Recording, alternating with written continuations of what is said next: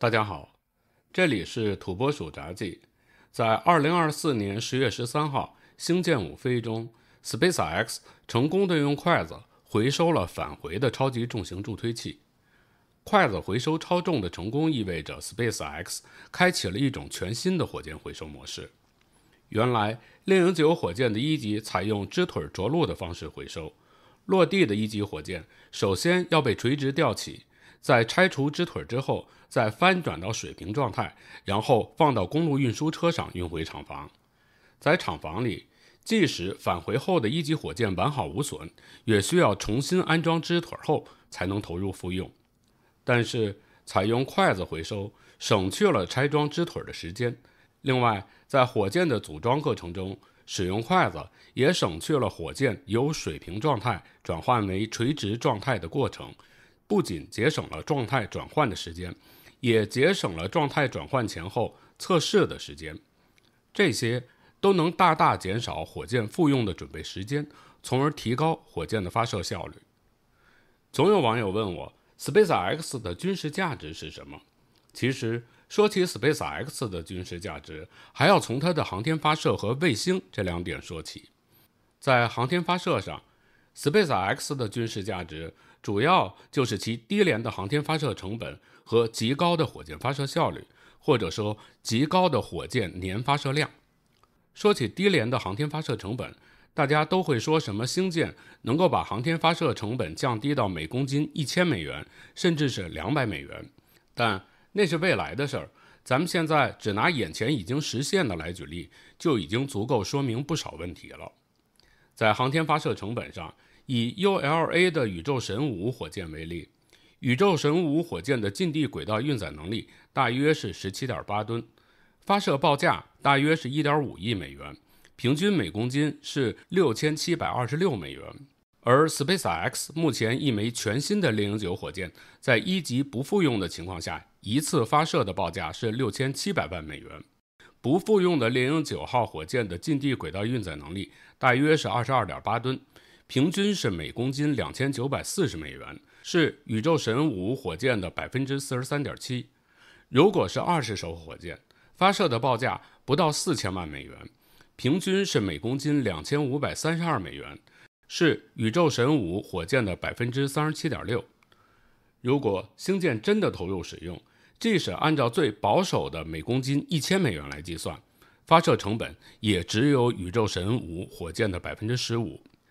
在火箭发射数量上，根据统计，在2014年，宇宙神五火箭创造了自己的年发射次数记录，达到了九次。如此算来，宇宙神当年把160吨载荷送入了轨道。反观 SpaceX，我们仅考虑猎鹰九 E 型火箭，在今年还没有结束的情况下，发射次数就超过了一百次，入轨的载荷超过了一千六百吨，是宇宙神的十倍。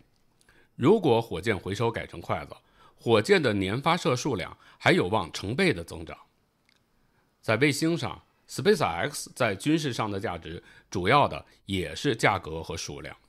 马斯克预计，星链卫星网络最后大约需要包括4.2万颗卫星，而在其中占主体的是星链2.0卫星。如果我们把星链卫星看成一个系统，那它就会包括结构构架、推进系统。自控系统、控制系统、通讯系统、供电系统和有效载荷等几部分，在这些组成卫星的部分中，结构框架、推进系统、自控系统、控制系统、通讯系统和供电系统都是基本相同的，它们共同就形成了一个被称为卫星平台的单独产品，而有效载荷对卫星平台来说就是他们的服务对象。卫星平台可以根据有效载荷的要求调整自己的姿态，进入所需的轨道，并为载荷供电。载荷则可以根据自己的任务要求，向最终的用户提供服务，比如数据或者是手机通话服务。由于卫星数量的众多，而它们都使用相同的卫星平台，这样就很容易形成产业化的规模效应。一方面使卫星平台的生产成本大幅降低。另一方面，使平台的性能大幅提升；第三，则是生产周期大为缩短。SpaceX 也正是看到了这一点，才会推出星盾。星盾从本质上讲，就是一个 SpaceX 为美国国防部提供的一个经过强化的星链卫星平台。美国国防部完全可以在此基础上添加自己需要的载荷，形成数量庞大的军用卫星网络。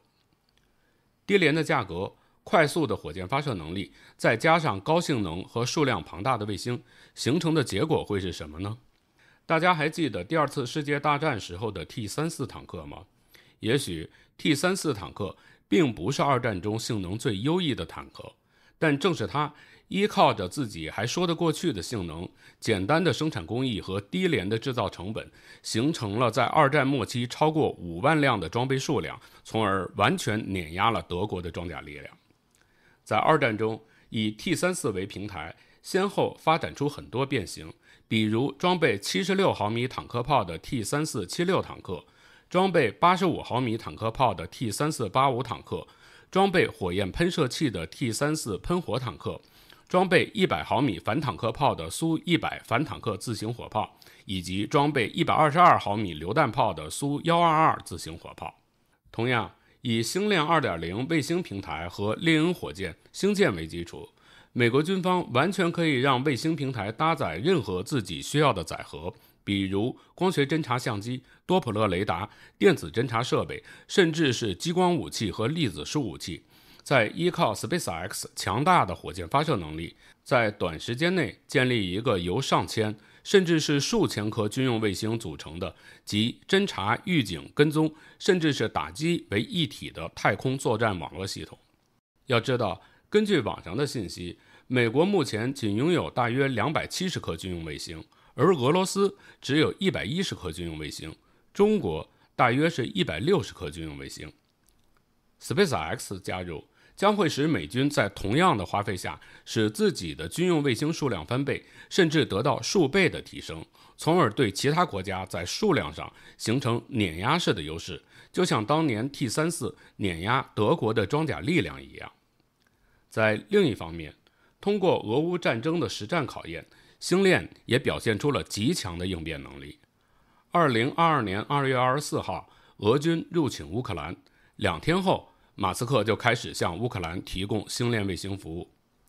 不久后，俄军开始对星链卫星进行干扰，这一度阻塞了乌克兰部分地区的星链信号。但仅仅几小时之后，SpaceX 就通过远程更新卫星软件的方法，用跳频扩频技术绕过了干扰。此外，在一开始，俄军能通过追踪乌军连接星链终端的路由器的固定 MAC 地址的方法。判断乌军指挥所的位置，并对其实施打击。但在2023年年初，SpaceX 允许乌军使用随机 MAC 地址，从而规避了俄军的追踪识别。还有，在2022年，星链终端还要通过 GPS 定位才能与卫星联网，而俄军正好擅长 GPS 干扰，干扰源甚至被配属到前线的单兵。在强大的干扰下，星链终端需要 GPS 定位才能联网的设置，一度使乌军的部分星链终端无法上网。但后来星链进行了软件升级，允许乌军的星链终端关闭 GPS 定位，直接和卫星联网，从而使俄军的 GPS 干扰失效。所有这些战争经验，对未来美国的军用卫星适应复杂的未来作战环境，都具有非常重要的意义。以上。就是我认为 SpaceX 最重要的军事价值。好，关于 SpaceX 的军用价值，今天就和大家聊到这里。不知道您在听了之后有什么别的想法？欢迎您给我留言，咱们可以一起讨论。在节目的最后，我提醒您，这里是土拨鼠杂技，请您订阅我的频道，打开小铃铛，这样您就能收到我节目更新的通知。同时，也欢迎您转发、评论。点赞，咱们下期节目再见。